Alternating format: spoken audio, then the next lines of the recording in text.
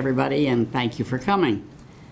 The Wilkins Award was established in 2004 and is named for Dr. Austin Wilkins to recognize his lifelong leadership as a steward of Maine's forests, which is the major recognition for landowners and individuals who are outstanding examples of managing the working forest in an exemplary and sustainable way. I've been around, it seems like forever in the woods, and, and as a professional forester, of course, I've worked with the, uh, the Irving Foresters and the Irving organization off and on for decades.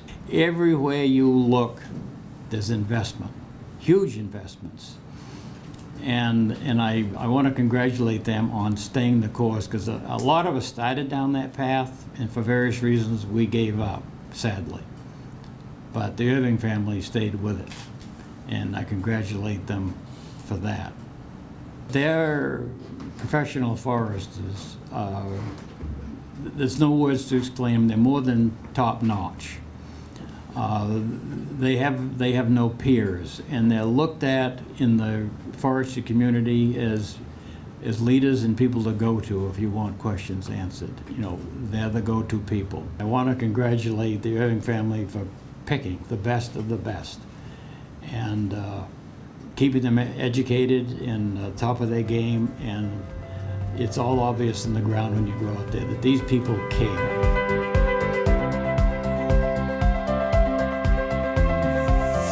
You know, Maine relies a great deal on its forests, its farms, and its natural landscape. Some good things are happening. Uh, the new landowners are coming in. I think a great example is the Irving family. Uh, they're not just here to manage the forests, as, as Doug has so uh, beautifully described on how they're doing with the outcome-based forestry. They invested $30 million in new state-of-the-art sawmill in an area of the state that we all agree needs the work, needs the, the mill, the jobs, and certainly uh, the harvesting of the natural resources that are going to bring uh, prosperity to that area. And of course, down south they have a, a softwood mill, pine mill.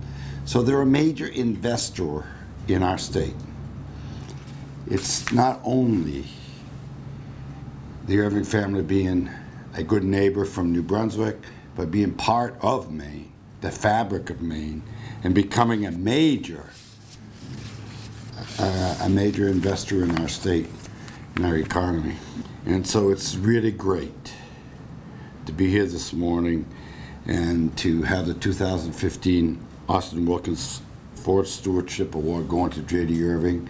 And friends, um, I want you to all know that Jim Irving is our friend. So thank you very much.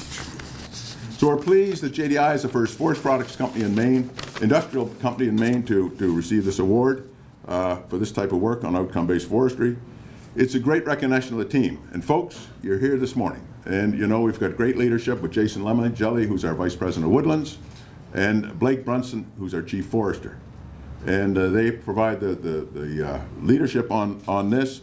And then every day on the ground, Peter Tabor, our Maine manager, uh, Peter Tabor, our, our, Maine manager, and Ken Coffin, and the rest of the forestry team, along with Anthony Howerhand. Fellas, I'm proud of you. You've done a great job.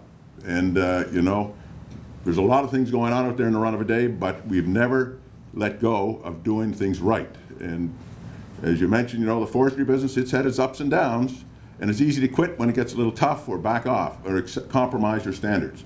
And you haven't done that. You've done a great job. And I appreciate that. And this is, so today I'm more of a representative on your behalf than a recipient. So I'm accepting this, but you folks did the job and you did it well.